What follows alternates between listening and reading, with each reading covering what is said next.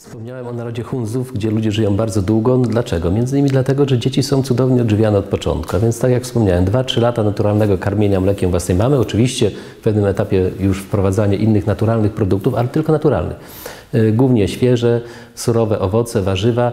Jeżeli jest to okres oczywiście zimowy, bo tam zima jest długa, no to z kolei konserwowane w sposób naturalny. Więc zakiszane to zasadnicza, jedy- jedyna metoda konserwacji.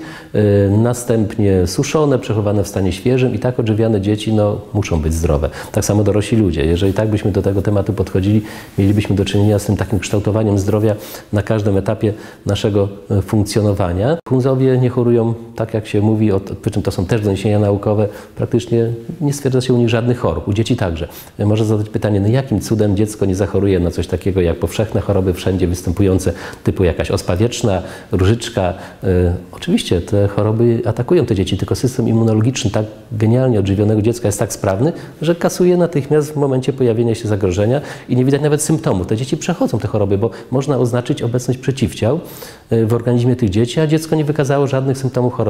System natychmiast zareagował, natychmiast sobie poradził z każdym elementem, e, z każdym czynnikiem ryzyka. U tych ludzi nie ma nowotworu, bo nie ma tych czynników zagrożenia chemicznego, ale psychicznego także.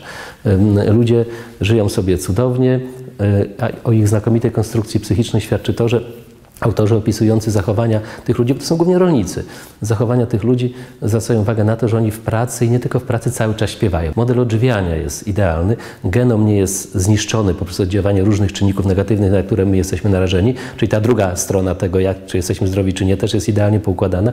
Następnie pojawia się kapitalny model zachowania, więc psychika cudownie kształtowana, no to nie może być innego wyniku jak kapitalny, zdrowy organizm, który żyje bardzo długo. A u nas no tak dokładnie odwrotnie. Wszystko po kolei e, działa tak, a my w tym uczestniczymy.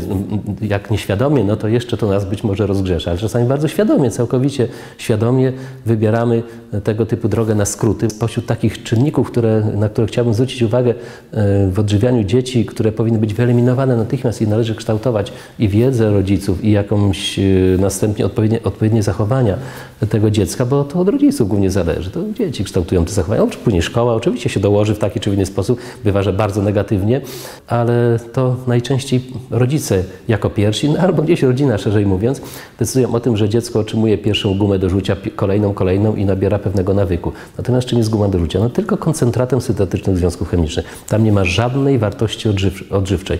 Mówienie o tym, że kształtuje odczyn jamy ustnej, no jakoś tam kształtuje, tylko wcale nie pozytywnie. Dziecko coś je, dziecko nic nie, niczego nie je w tym momencie. Yy, zaczyna się wydzielanie substancji, różnego rodzaju enzymów trawion, trawion, mm, trawiennych, które, których zadaniem jest trawienie czegoś. Ale czego? Niczego nie ma w przewodzie pokarmowym. Organizm zaczyna powoli, nie tak od razu, bo mamy kapitalne systemy autoregulacyjne czy buforowe.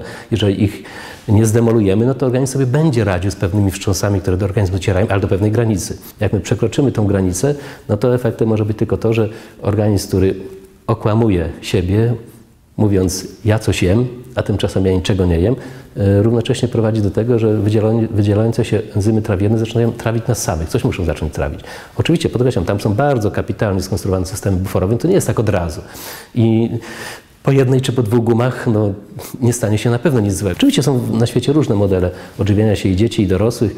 E, Takie czy inne są czasami warunkowane, bo są warunkowane przyrodniczo, środowiskowo, gdzieś jest gorąco, całkiem inaczej się ludzie odżywiają, gdzieś jest bardzo zimno, całkiem inny model. Zarówno jeżeli chodzi o rozkład posiłków, jak i e, to, co ludzie konsumują, przecież to z oczywistych powodów, że inaczej wygląda. Natomiast my żyjemy w takiej strefie, gdzie powinniśmy absolutnie konsumować w odpowiedni, logiczny sposób śniadanie na początku każdego dnia. W odpowiedniej porze, tak, żeby nasz organizm nie zaczął sam siebie trawić, ale właśnie no, cały czas jakieś śniadanie. No, najwyższej jakości, tylko o takim śniadaniu możemy mówić. Wspomniałem o gumie do rzucia jako produkcie, który dziecko nie powinno konsumować, a na przykład szereg napojów. Napojów z bardzo wielu powodów. No te najbardziej znane, które dziecko konsumuje, typu Coca-Cola i tak dalej, pochodne, pokrewne, bardzo zbliżone, e, no z wielu powodów nie powinno dziecko ich w ogóle otrzymywać.